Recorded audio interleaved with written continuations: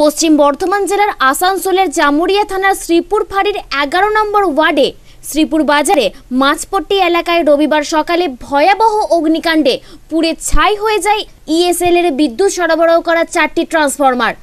ওই ট্রান্সফরমারগুলি থেকে Tinpatia new centre staff quarter অঞ্চলে বিদ্যুৎ সরবরাহ করা হতো। আগুন লাগার খবর পেয়ে আসানসোল থেকে দুটি দমকলের ইঞ্জিন উপস্থিত হয়ে আগুন নিয়ন্ত্রণে আনে।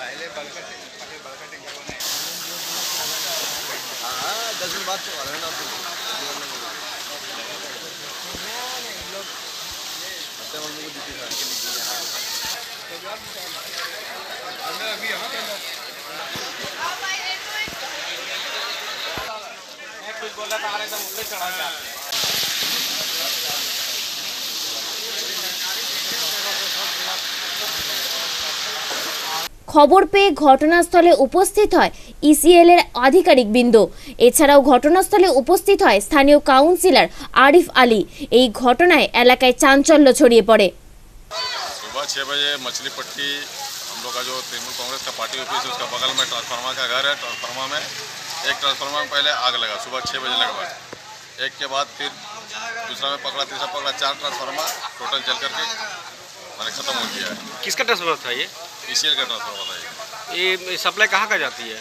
सप्लाई श्रीपुर नंबर तीन में दो ट्रांसफार्मर से जाते हैं और एक ट्रांसफार्मर से तीन पटिया नए सेंटर और एक ट्रांसफार्मर आपका यहाँ स्टाफ कितने लोग प्रभावित हुए हैं इससे प्रभावित लगभग कम से कम आठ से दस हज़ार। कि, कितने बजे घटना आग लगी है? सुबह छः बजे का रिपोर्ट है।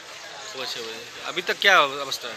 अवस्था क्या मैंने? फायर ब्रिगेड का गाड़ी आया सब बुझाया लेकिन ट्रांसफार्मर में कुछ है नहीं सब खत्म हो गया। है আসানসোল থেকে সৌমিত্র গাঙ্গুলির রিপোর্ট আনন্দবার্তা।